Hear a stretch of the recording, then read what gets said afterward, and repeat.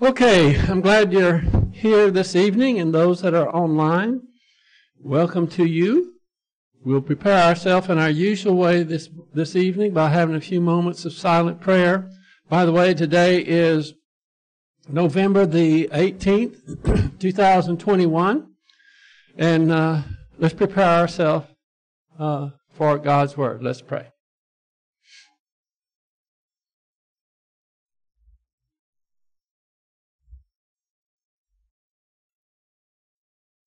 Heavenly Father, we're so thankful for your word that never changes. We thank you that you've given us the ability to understand it. It's alive and powerful.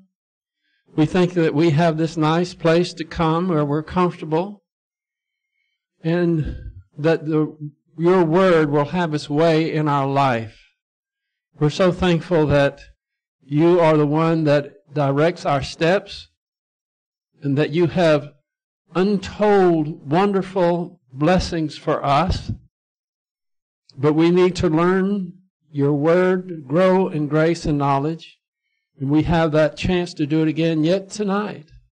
So we're thankful for that and pray that you will help us to focus and concentrate.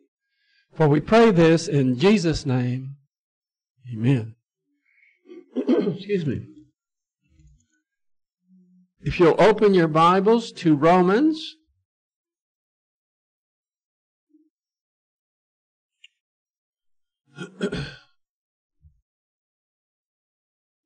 Romans chapter 5.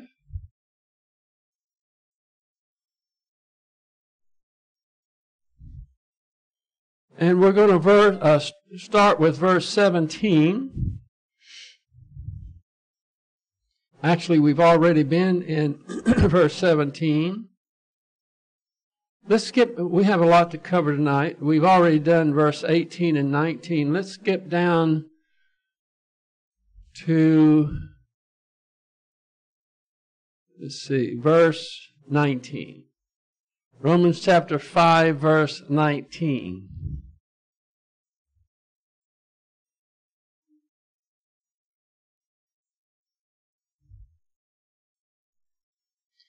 We began verse 19 Tuesday, so we'll begin there.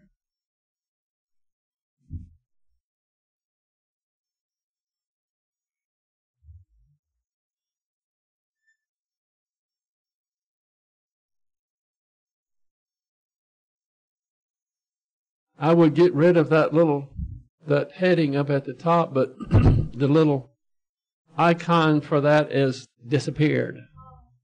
Yeah, uh, I don't know why, but my computer likes to have little tricks to play on me. But at least we have the scripture here. Romans chapter 5, verse 19.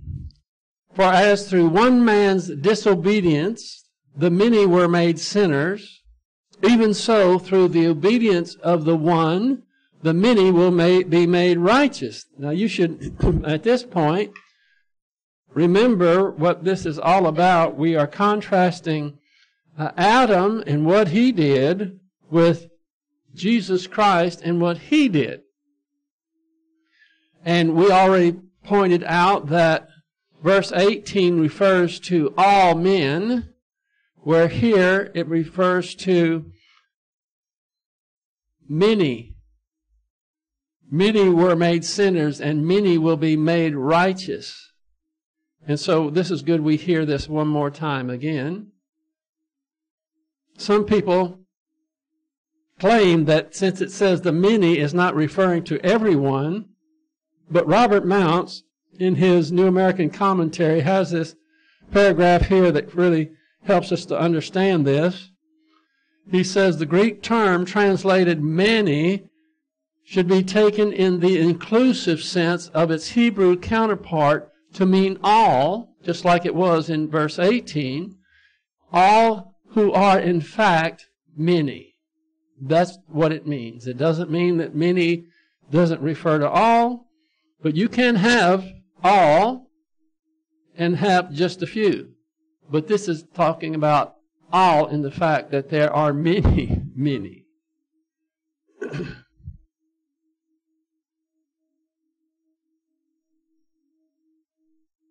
let's just skip down here. We'll just go to this last verse here. This verse, verse 19, emphasizes the importance of obedience. We live in a time where disobedience is the norm and it is rampant. People these days feel free to do as they please. They completely ignore those in authority because they are confident that they will not be held accountable. This is playing out right now in real time. Uh, the Rittenhouse trial is going on, and they brought in, what was it, uh, 500 or was it 1,000 uh, troops? The National Guard, 500? 500 National uh, Guard, and they're already having uh, skirmishes in front of the courthouse. They're just waiting for a verdict, and if it doesn't go the way that the uh, scoundrels want it to go, then the idea is that they're going to burn down Kenosha again, whatever is left that they didn't get the first time. Why do they do that? Because they're not afraid of being held accountable for nobody in a certain uh, group is ever held accountable these days. But I can assure you that God holds people accountable and He will deal with them in His time, in His way. So we're talking about uh, disobedience. And so we start our lesson tonight here with lesson 140. Disobedience brings death and cursing, but obedience brings righteousness and blessing. Have you ever noticed that, especially young people who are disobedient and they're arrogant and they are uh, out of control. You ever notice they usually don't live that long? And today, especially with the drug problem we have and fentanyl, which is deadly, we have a, they say it is a drug uh, crisis, but the crisis really is in the home. These children weren't brought up properly. They weren't taught anything about the Bible or the uh, good manners and thoughtfulness and respect.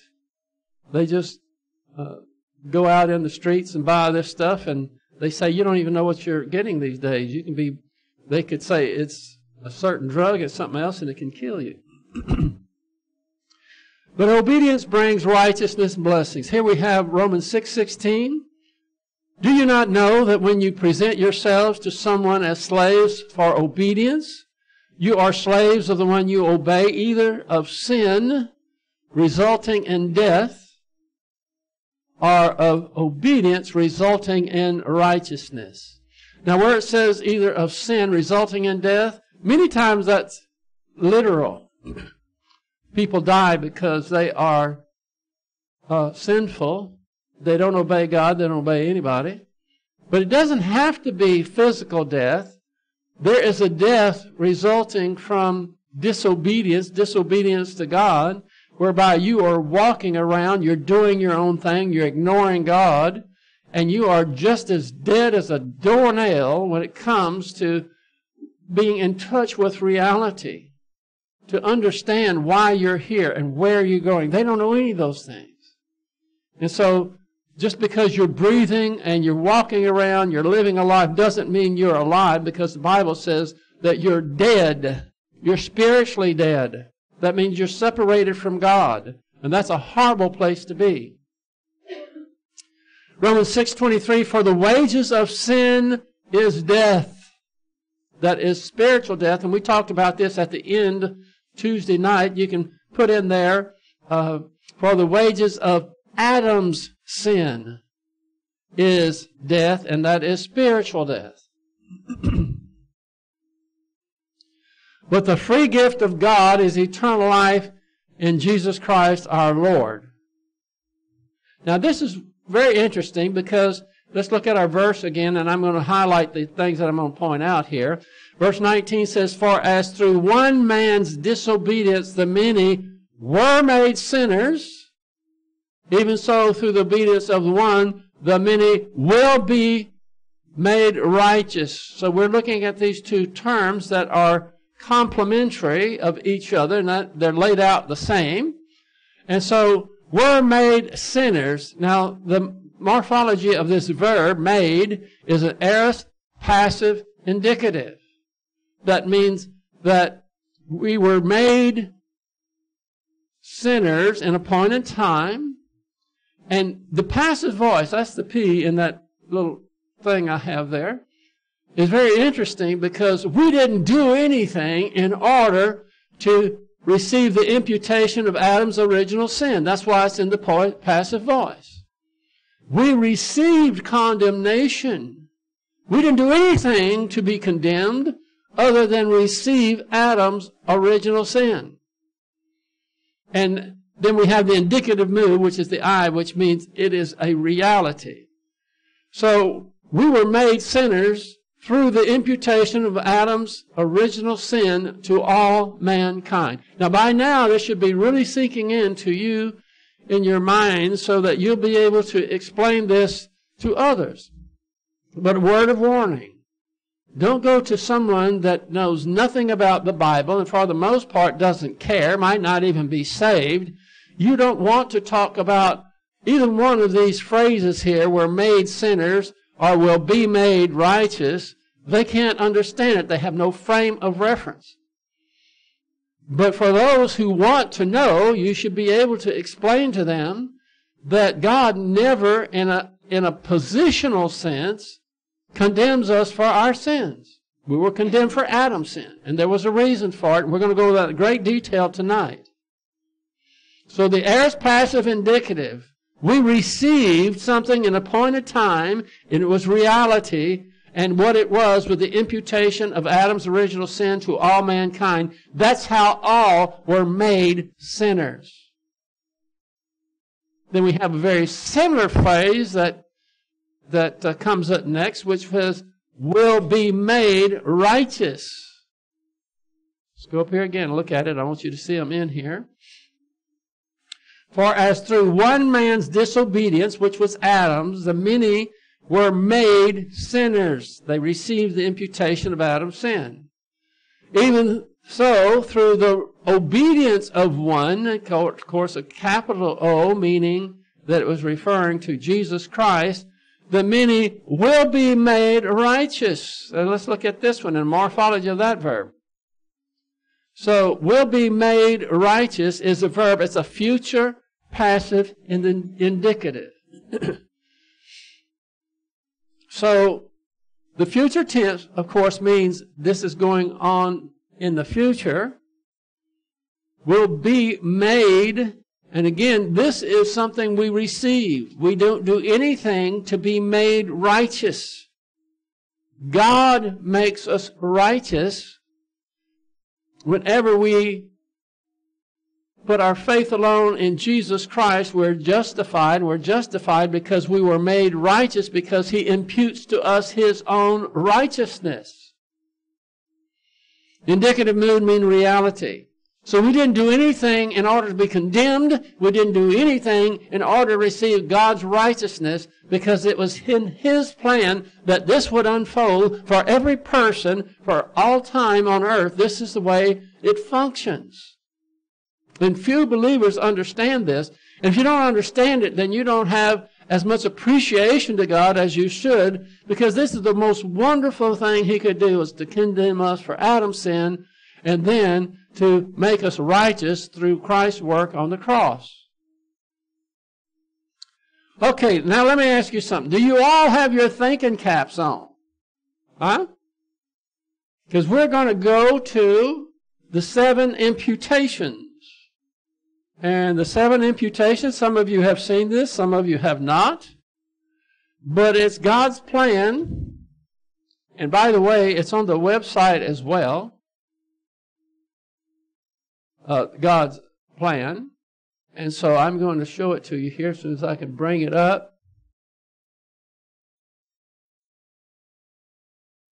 And I, this is this is as big as I could get it, so I hope that y'all will be able to see it. Now, when you see that, don't think it's a horrible formula and, and just just drop out. This is a visual of the seven imputations that are in God's plan for us. First, we'll do just an overview, just a flyover to see what this is about. So we have up here in the green the unbeliever, in the blue we have the believer, and in the red we have the mature believer. When I was taught this, it was called X plus Y plus Z. X plus Y plus Z. Now, it wasn't put in this way. I put it this way I thought would make it easier to understand. I hope that that is true. but we all start out as an unbeliever. But what have we learned? That we are born physically alive, spiritually dead. We are spiritually dead because God imputed Adam's original sin to us and we are condemned at birth. So this is talking about imputations at physical birth. Right here. Imputations at physical birth. And that's what we call X. We start out with soul life here that is imputed to biological life. Soul life comes from God and is given to us. It's imputed to us to biological life at the moment of, of, birth. I know this is very controversial, but some people say, well, uh, the soul was given to the, the two parents were giving the soul to the uh, zygote, uh, the moment of conception. I, I believe they gave him physical life, but soul life comes from God. We have a soul, but we don't create souls.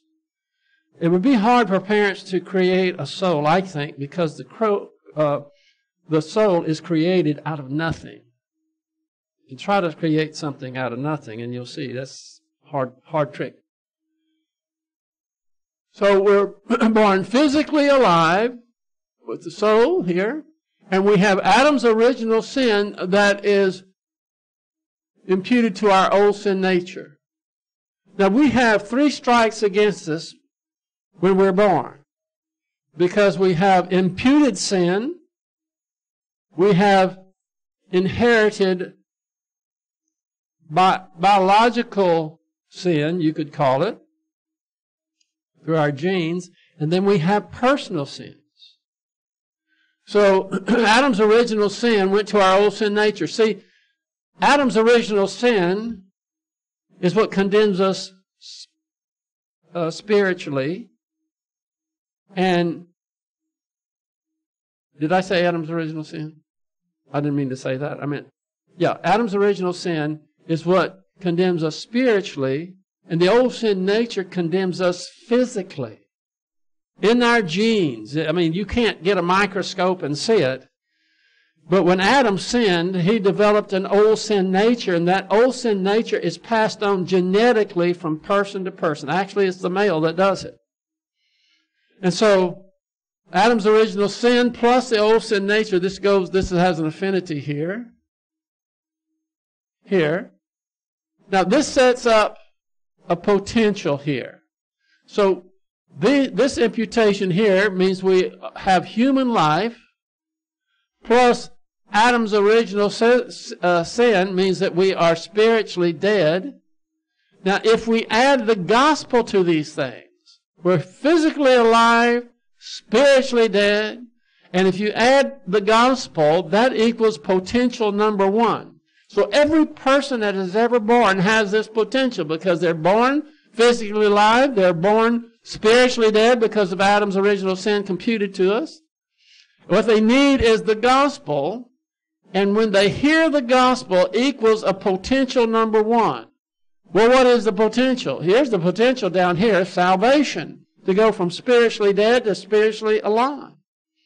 But what is in between the potential and salvation here is plus faith in Jesus Christ.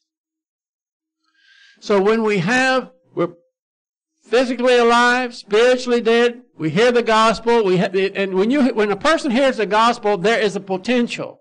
When you give an accurate gospel, then God the Holy Spirit steps in and makes that spiritual phenomenon understandable, clear, perspicuous. to the person so they understand it. They're spiritually dead, but because God makes it clear to them, there is a potential. And the potential is that they will receive salvation. How?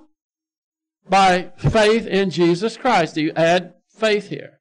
And you'll notice this salvation is turned to blue and everything over here is blue. So the moment this potential becomes a reality through faith in Christ, then you have salvation.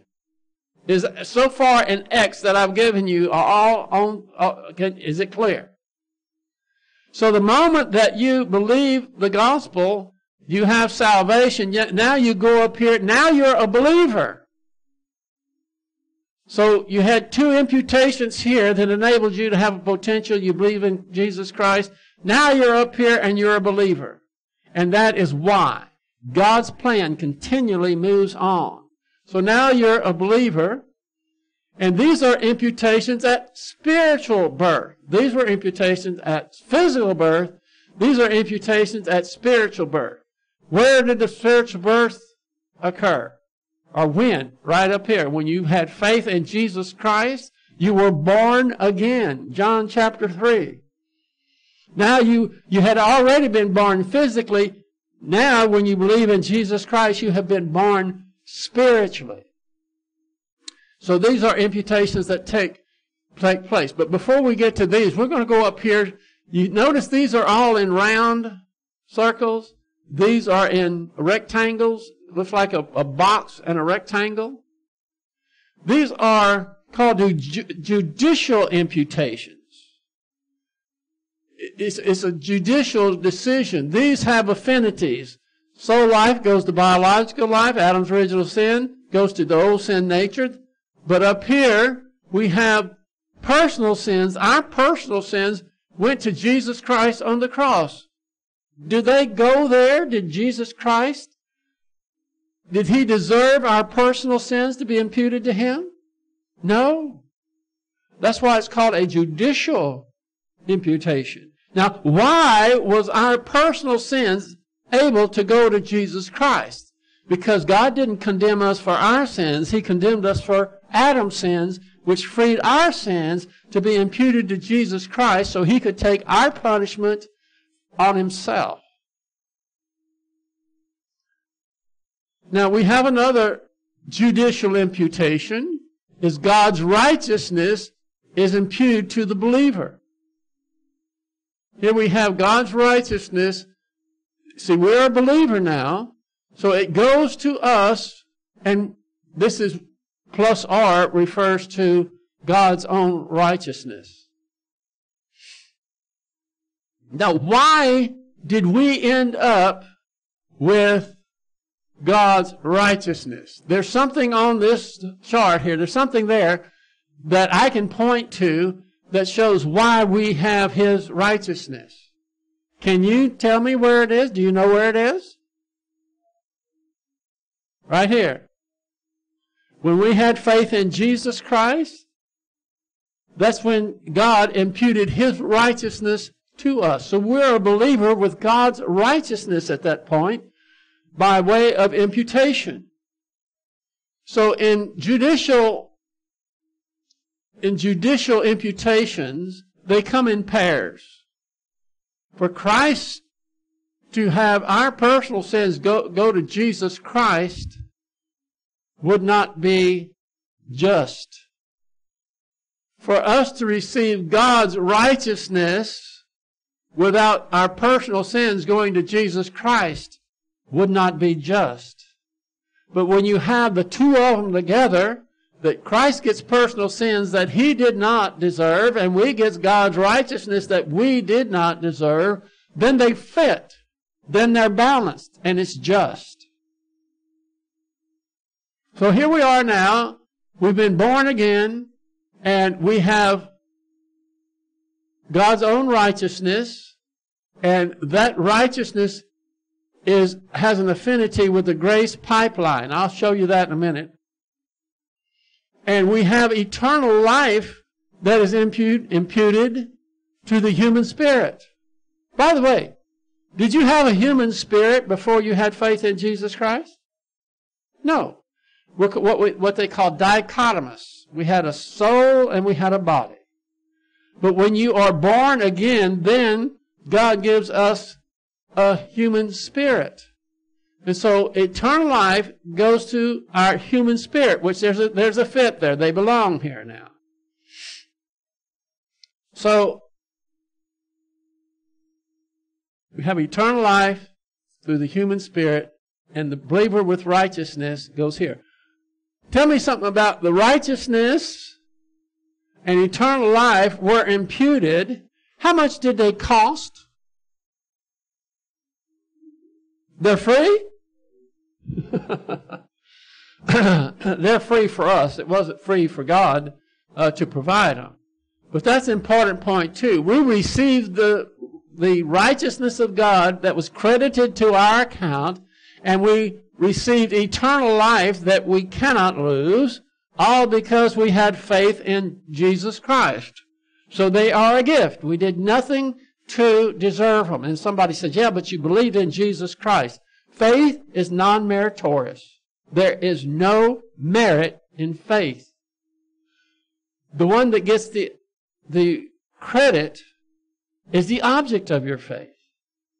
So, as it turns out, we had faith in Jesus Christ. It doesn't, it doesn't merit anything. But it means that God can give us His own righteousness and eternal life and many other things. It is Jesus Christ that gets the merit, always. So now we go down here and in under Y we have plus R, which is God's righteousness. And we have EL, which is eternal life, plus BD. What is BD? Bible doctrine. Now, Bible doctrine here sets up a potential, which is the second potential. Here the, the first potential was be, have salvation, become a believer. Now we have a second potential. But before we move on, what happens if you have righteousness imputed, eternal life imputed, but you don't have any Bible doctrine? What does that mean? uh, y'all are sounding too much like me. Um, it means that there is no potential. Having, eh, how many millions of, millions of believers, see, every believer has this when he believes in Jesus Christ, at least church age believers, have his own righteousness and eternal life, but they never get any doctrine, so the potential down here is never realized. Does that mean that they're not going to go to heaven? No but they're missing out, even in time. So the potential is right here. I don't know if you can see that from where you are. It says super grace blessings in time. The grace pipeline is all about logistical grace. I can show it to you in a moment, which every believer has. Every believer, regardless of whether they care about Jesus Christ, what their behaviors, nothing matters. They are God's child, and He's going to provide logistical grace, which means the grace that they need in order to fulfill His plan for their life. But this is super grace blessings in time, over and above. That is the potential. So, when is it that they receive the super grace blessings in time? That potential here, potential two, is realized when they have been good and faithful servants and taking in the word, they have reached spiritual maturity, and boom, that potential is not a potential anymore, it becomes a reality. And then, that potential as a believer here is done. But we're not done yet. We go up here to Z. Now, Z is referring to the mature believer. This is only for people who are mature believers who have already received super grace blessings in time. More grace than average believers receive. James chapter 4, verse 6, I think, is where it talks about um, super grace blessings. Now we're up here as mature believers, and now we had imputations at physical birth, imputations at spiritual birth. Now we have imputations in eternity. Now we're already out of this veil. We're in what is coming next. So here are the imputations. In Z, you have eternal life that we received here. You have super grace blessings that uh, occurred here. By the way, everybody has eternal life, but not everybody, I'm talking about all believers have eternal life, but not all believers have super grace blessings. So if you have eternal life and you have God's own righteousness, but you don't have super grace blessings, forget it. None of this applies to you. Super grace blessings come when? When you mature spiritually. When is that? I don't know. God knows. You'll know it though when you're getting super grace blessings. They are so phenomenal. So we have eternal life plus super grace blessing goes down here to the believer with plus, with plus R righteousness. That is up here. This, when you have eternal life, super grace blessings, and God's own righteousness, you have eternal life plus blessings in time plus BD. What is BD?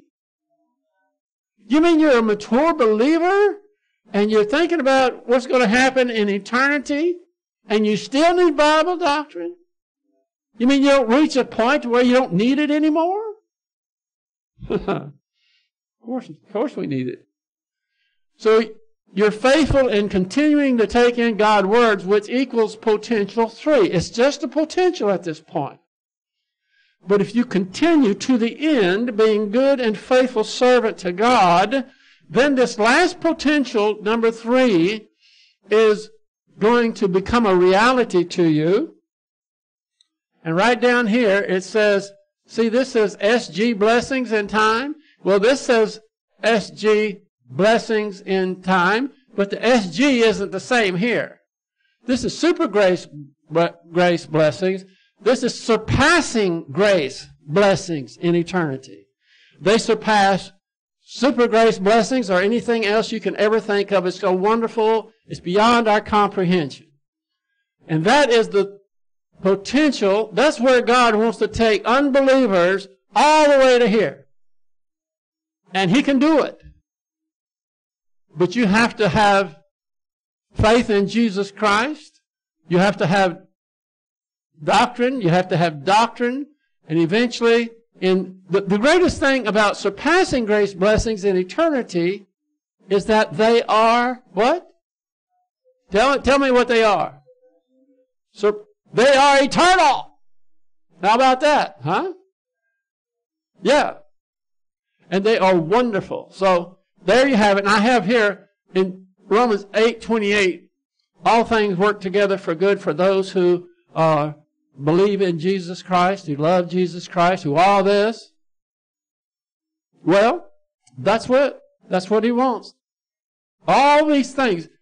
Whenever you're living your life and you up and down, up and down, and going through tests and all, all these things, it is all for the good, and the good, what God wants for all of us, is surpassing grace, blessings in eternity. That's big. Are y'all still awake? Okay. By the way, this is on the website on under visuals. I had one earlier, this one right here. And it's essentially the same. I've changed it a little bit, but uh, it, it's good too. See, the uh, judicial sins are in boxes here. It's still super grace blessings, uh, surpassing grace blessings in eternity, super grace blessings in time, becoming a new believer. It's essentially the same, but I like this one better because uh, I like this portion up here uh, that that shows. Now, we were talking about the grace pipeline a moment ago, right here in uh, the believer with uh, plus R, God's righteousness. The grace pipeline is associated with God's righteousness, and I'll show you why. Here's the grace pipeline. This is what it's about up here at the top on the left. God blesses sinful man without compromising his perfect justice and righteousness. That's the problem. How can God bless us when we're such wretched people? How, how can he? He can't bless us. Now, we can do good things, but our good works are as filthy rags to him. How can he bless us? Everybody thinks, well, he did such a great thing, God's going to bless him. God cannot bless anyone unless it goes through the grace pipeline. We are not blessed because of what we do for God, but because of what God does for us. Remember this.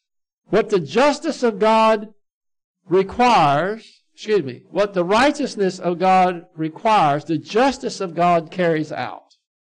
Righteous makes the demand, justice carries it out.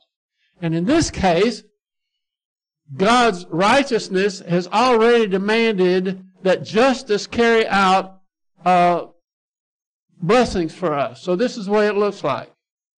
All these things are things that we can contribute in order to get blessings.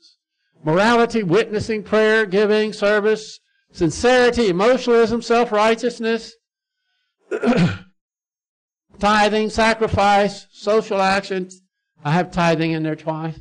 Talent and personality. All these things would try to get into or break this pipeline where the justice of God is going to bless us through God's righteousness. The target here is God's righteousness. You see right here it says blessings, logistical grace. Every believer gets these. Logistical grace. That's why over here in this other thing here, we saw the believer with righteousness goes to the grace pipeline. And that's true for every believer because God is blessing His own righteousness in us. That's why He does not compromise his, compromise His perfect essence. We could never in a million years be able to earn anything from God because we're wretched creatures. So when He blesses us, He blesses us because we have His righteousness. And that blessing goes right straight to His righteousness and He is not compromised. And this is imputed to every believer. Here's a few verses uh, that have to do with the grace pipeline. Matthew 6:33, Romans 3:21 and 22, Romans 4, 3 through 5, and Philippians 3, 9. So even though we have talent, we have personality, we pray, we give, we do all these things, it has nothing to do with God's righteousness because these are things that we do. God blesses us on the fact that we have His righteousness. So remember this. We are not blessed because of what we do for God, but because of what God has done for us. What did He do for us? He gave us His own righteousness, and one of the aspects of that own righteousness is the fact that nothing that we do merits His righteousness. That way, He's not compromising His perfect essence, and yet we are blessed.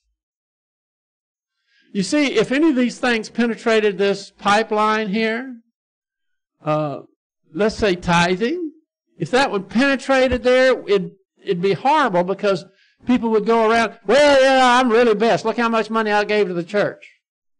That can never be said legitimately because nothing can penetrate that pipeline. It's sealed because God's justice is carrying out the command from God to bless us. Why? Because we have God's righteousness. One other thing I have here, I think. I got to drink some water. I'm getting hoarse.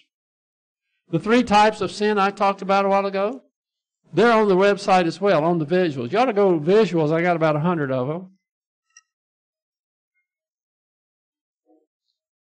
So there's three types. First of all, we have imputed sin, God imputed Adam's original sin to our genetically inherited old sin nature at the point of birth, which resulted in our condemnation. You have Romans 3.23.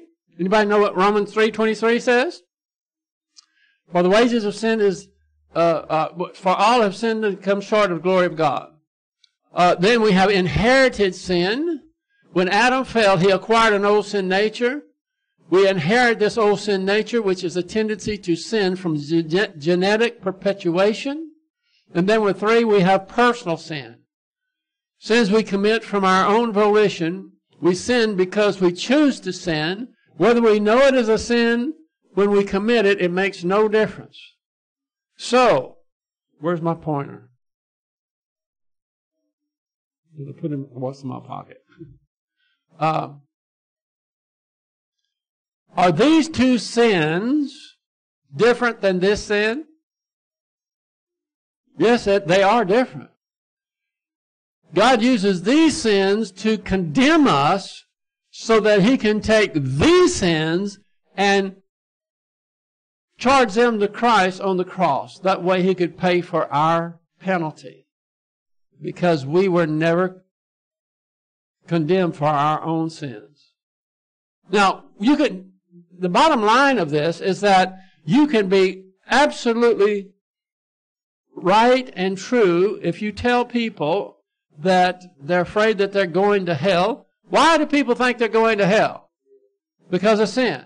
And you can look them right in the eye and says, Thus says the Lord, nobody goes to hell for their sins. Have you ever done that? You ought to try it sometimes. It gets exciting. People blow up like a big blowfish. Well, that's absurd. And when they start bloviating about how absurd that is, just ask them one question. Why did Jesus Christ go to the cross if we are going to hell for our sins?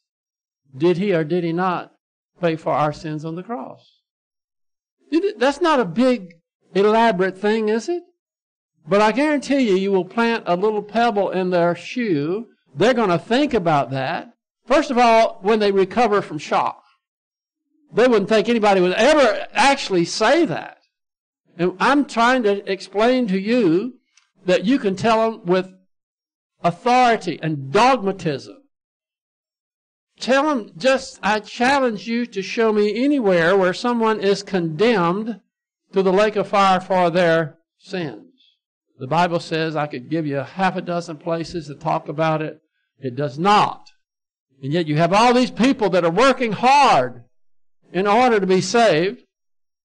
And all their work means that they are not believing in the Lord Jesus Christ. They think that their works have to be added to it. But it's given as a gift.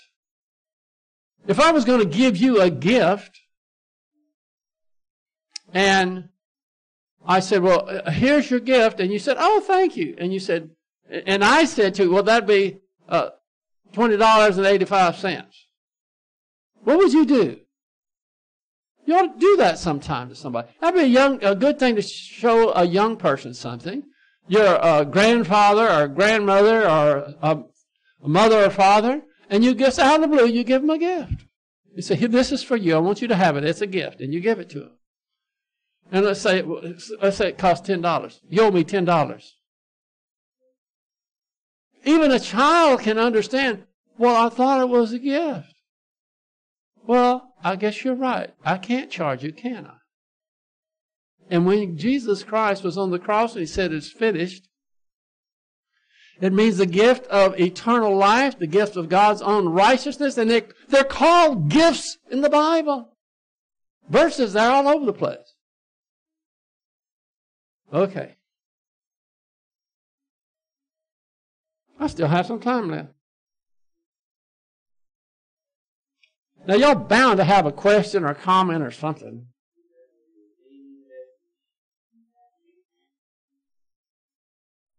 Okay. Uh, now, we're going to get back over here to Romans chapter 5, verse 20. Here we are.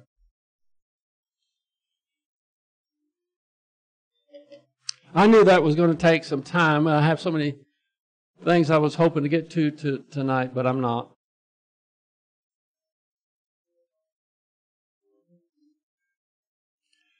Now, the, if you go to countrybiblechurch.us and go to the top band there where it says visuals, you can go, and they're all listed in alphabetical order. Uh, the the first one I think says seven imputations. That's the one one of them. The one that I was showing you at the last, I says I think says x plus y plus z. And you can look at those and go over them. Everything I showed you tonight was on the uh, visuals. Oh, well, no, but you can just look at what it is and follow it through. Yeah. Um, Romans 5:20. And the law, referring to the Mosaic law, came in that the transgression might increase, but where sin increased, grace abounded all the more. Now, can you tell me why, when the law came in, that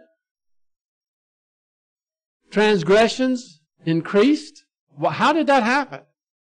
You would think when the law came in, people would start being more law abiding, wouldn't you?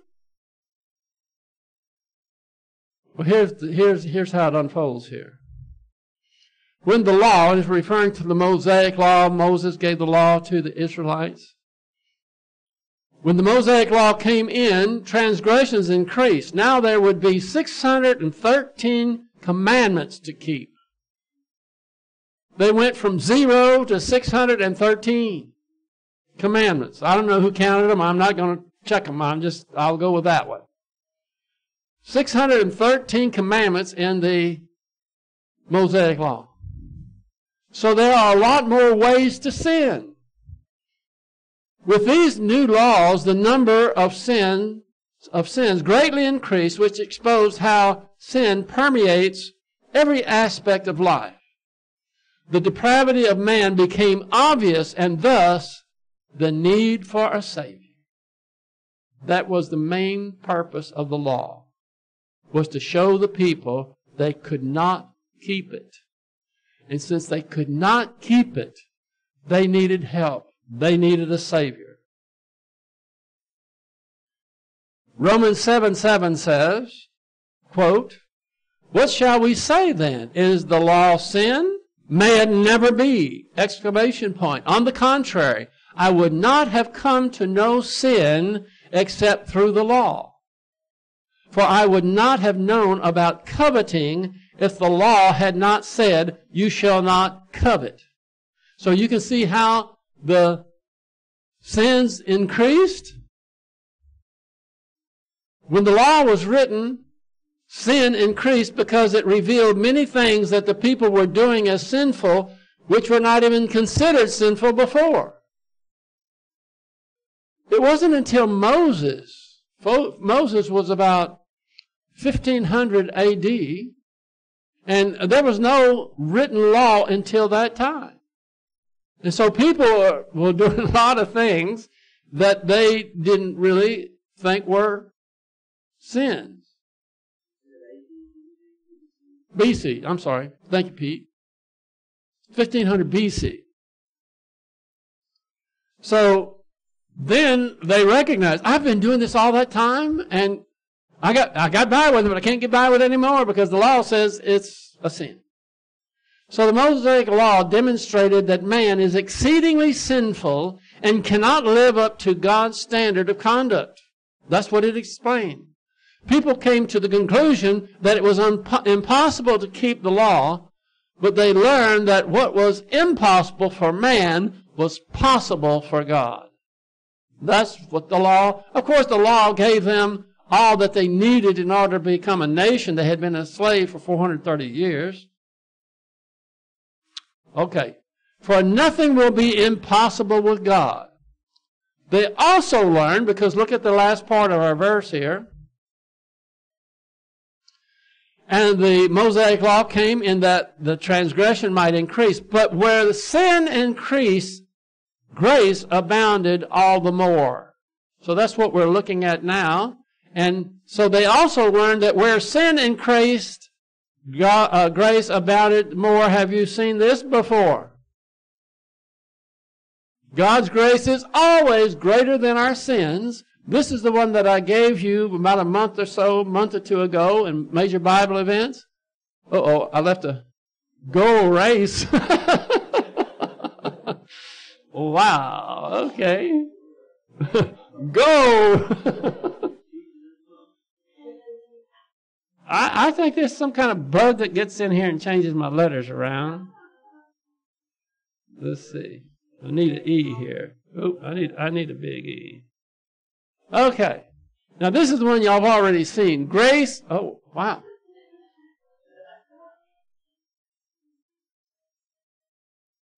need a A here. That's nothing. Okay. See, this is what happened. I have you see this is grandiose. It's supposed to be spectacular for you to see.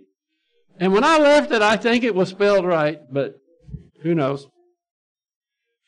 So, where sin increased, grace abounded all the more. So God's grace is always greater than our sins, but I always have to say, that's not a challenge. You don't have to prove that to be true. If you do,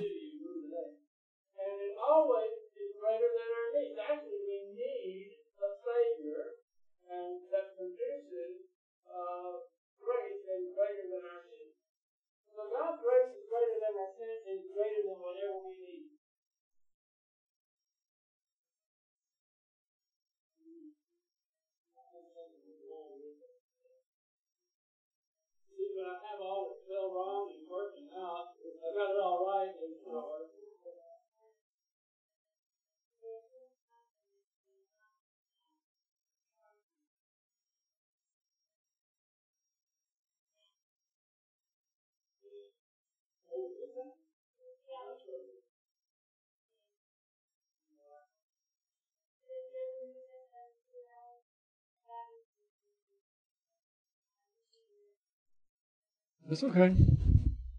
We got to go in. Thank you, Brett. Okay, we got just a few minutes left here. Now, here's a verse that substantiates what I have here. By the way, these are in bold and they're red for us to remember that. Don't ever forget that God's grace is greater than our sins. So when we acknowledge our sins, His grace is going to cover it. And His grace is always greater than our need. So whatever our need may be, no matter how desperate it may be, God's grace is greater. Important. Here's a verse that substantiates that. 2 Corinthians 12, 9. And he said to me, My grace is su- sufficient for you, for power is perfected in weakness. You notice the H is capitalized. This is Jesus talking to Paul when he had a thorn in the flesh, and Paul kept asking him to to remove it. It's not what wasn't a literal, a literal thorn, some kind of ailment. And God said, My grace is sufficient for you, for power is perfected in weakness. God's power is magnified in weakness. And so Paul said, Well, I hope I'm really weak because I want that power. Uh, paraphrase. No matter how odious a sin may be, or how much sin increases, it can never exceed the grace of God.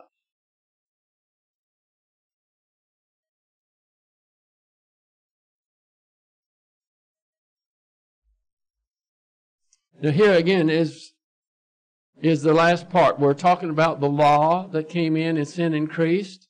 This gives you a perspective of it. Galatians 3:24 and through 26. Therefore, the law has become our tutor to lead us to Christ, that we may be justified by faith. But now that faith has come, we are no longer under a tutor, for you are all sons of God through faith in Christ Jesus. So there was a time when they needed a tutor. What does a tutor do? He, he teaches. He's trying to get something across. And that's what the law was. It was trying to get across the point that you cannot keep the law. Uh, you can't keep it perfectly. Only one person ever did, and that was Jesus Christ. So it was as a tutor to get you to understand that. So that we can be justified by faith. See, it said you cannot keep the law. You can't be saved by the law. It wasn't designed for that. It was designed to show you that you need a Savior. And so it says, it led us to Christ that we may be justified by faith and not by trying to keep the law. But now that faith has come, now they understand. Someone like Paul has come along and explaining to them, you don't need a tutor anymore because I've given you scripture. I've told you personally that the only way that you can be right with God is by faith. Not keeping the law. You can't keep it anyway. But now faith has come. We are no longer under a tutor. We are not under the Mosaic law, period. For you are all sons of Christ, uh, sons of God through keeping the law. Oh, well, no, it doesn't say that, does it? For you are all sons of God through faith in Christ Jesus.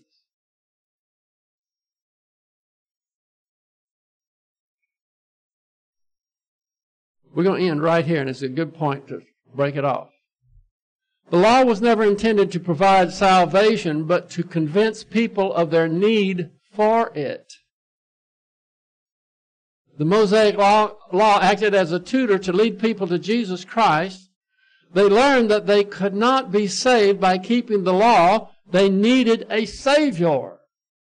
Once they were justified before God by faith, they no longer needed the Mosaic law as a tutor. Okay. I hope your head is not spinning. Now, do you feel confident that you can go out and say, tell somebody in your family or some acquaintance or a stranger, whoever it may be? Can, can you say, you know, I want to teach you something or I, I want to tell you something about X plus Y plus Z? Are y'all ready for that? What's the plan of God in seven imputations? That's the way the God uh, has designed His plan to work. And what's so beautiful about the plan, He's moving us forward every time. We go from an unbeliever to a believer. We go from a believer to a mature believer. We go from a mature believer to a place of super abundant, surpassing grace blessings in eternity. So we all are moving forward. God, what have we been learning in Genesis? God is always behind the scenes and He's working on your behalf. The tests are not to make you grumpy. The tests are not for you to hate. The tests are for your benefit that you can demonstrate by applying the things you've learned from the Bible to your circumstances. And when that happens, then God can say, okay, now you're ready for the next level of my plan for your life. And you go to the next level. And are there going to be tests there too? Oh yeah, there's going to be tests. But when you continue to go up and up and up, you're going to get to the point to where you have super grace blessings. God is going to use you in a phenomenal way here on earth so that whenever you pass this veil of tears, because you were good and faithful your entire a spiritual life from the time you were born again, then you have all these things that are surpassing grace blessings to look forward to. We call it a personal sense of eternal destiny. All of us should be making decisions now, not for the next day, week, or year, or whatever it is. We should be making decisions that are going to accrue to us the surpassing grace blessings in eternity. That's what, when we're making decisions now, because we're thinking about how that's going to affect us in eternity, you're on the right road. Because that's what's very important. That's what's going to last. When you make decisions for uh, tomorrow, the next day, whatever, they're gone, they're dead. We think about eternity because it is going to be here sooner than we know. It's right around the corner. Yeah. Okay, any questions before I close? Oh, it's already time to close. Got to close anyway. Father, we are so thankful for your plan. When we think about in eternity past how you knew each one of us, you designed a plan specifically for us that's perfect for us. And yet we can't advance without being taught. We have to be humble to be teachable. And when we learn your plan, when we grow in knowledge, then you advance us in your plan. And your plan is phenomenal. So we thank you for that and pray that you will help us to think about these things. We can't inculcate these things in one or two or three or four times looking at it. We have to really meditate about it and think about it. And you will open our minds and you will give us the blessings that come from you on the basis of our righteousness. The righteousness, the righteousness that you gave us. And so we're thankful for these things, and we pray that you help us to not forget them, but to concentrate on them. We pray it in Jesus' name. Amen.